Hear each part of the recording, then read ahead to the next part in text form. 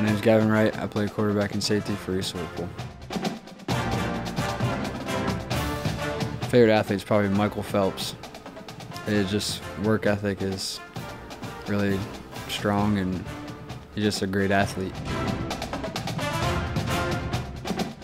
Probably say DJ's ribs. Just can't beat them. Favorite movie is Sandlot. I used to watch it all the time growing up. I'd choose probably to go to Wyoming. I really want to see like the just the landscape and everything out there. It seems pretty cool. Dreams and Nightmares by Meek Mill. Probably most admire my dad, just because like my father figure. Like I've only learned everything from him, so it's all I know. Focus on the next play. Uh, don't worry about your pass. Don't struggle with anything like that. Just keep your head straight, move forward. My dream job, as of right now, I want to be an industrial engineer. So that's kind of what I've got going. Probably like a solid eight. Eight? Yeah. Because break the speed limit a little bit here and there, so I wouldn't say I'm the safest, but I'm a good driver.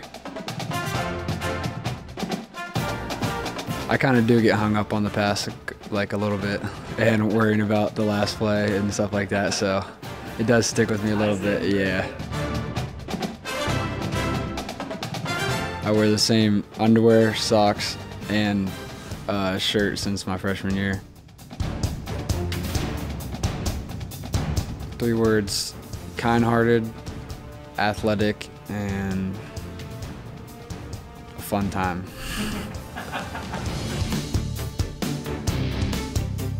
well, I've been uh, golfing recently. Not good, but decent. I don't know, stuff I'm not good at, I usually don't go back to it because it makes me mad. So I try to just like push it to the side a little bit. Touch my chest and point to the sky because I wear the my Caden shirt underneath. It's my cousin that passed away. So I always let him know. That's my number one thing.